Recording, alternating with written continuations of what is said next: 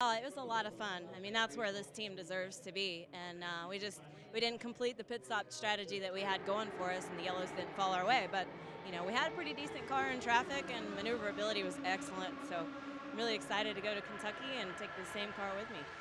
Going into the off season, we're probably going to have to sell a car or two, and uh, I don't know if I'm going to get rid of this one.